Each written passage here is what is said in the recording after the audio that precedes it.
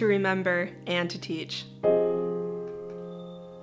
My passion for activism has truly come from my own family and my lineage and my background. I grew up just being a part of so many different minorities and being a part of a family that looked at the world in so many different ways that I think it's really important I take a part in that legacy, in the legacy that my family left me, and I really give everybody the opportunity to see the world in the same way that I do. To see the world from multiple different standpoints, whether it's as an American, whether it's Jewish or Christian, whether it's just being somebody that's international, whether it's being someone who's an artist versus a scientist. I truly think that there's every single opportunity for anybody to become an activist, and not a lot of people recognize that because they're so secluded into their own identity. There are so many horrible things that have just plagued history, especially in what I study in genocide and the Holocaust specifically. It's something that's so tender and something that's so difficult to study that there's really no way to study it but to be optimistic.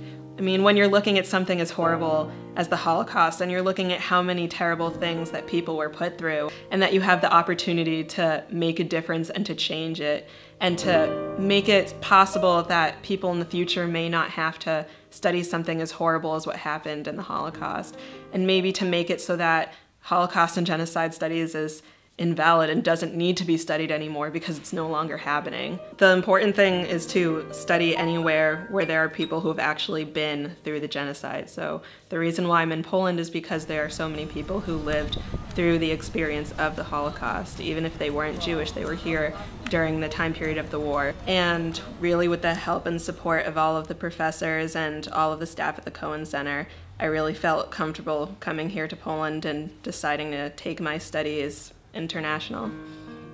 My favorite thing about studying at Jagiellonian University and this program that Keene State College has helped create is simply our interaction with the master's students. There are so many things that you can learn from a master's student who's working on a thesis that you would never be able to learn from an undergraduate who hasn't progressed that far, especially when they're all international students and all have completely different outlooks on what they're studying.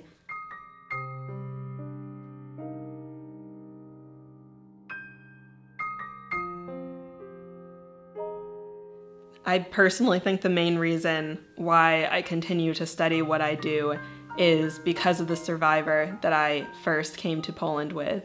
She went through the Holocaust. She is a survivor of the Auschwitz Birkenau camp, and her sister was taken to Belzec. And when I was there with her, was when she found out that her sister was most likely taken to that camp and just being with somebody who's had to experience something like that, she never had the choice to experience that, and she never had the choice to walk away from it. And it's the fact that I have so many choices and so many freedoms that I'm going to use those to honor her and to honor her family's legacy and to continue to study this so that hopefully people will never never have to go through the same situation ever again. From so many different backgrounds that it's hard to separate out what part of me really makes myself the humanitarian that I am today. And just as I can't extricate the Jewish factor from the Holocaust, I can't extricate the fact that I am African American, I am Native American, and I was raised to look at humanity and to look at difference as being such a beautiful thing.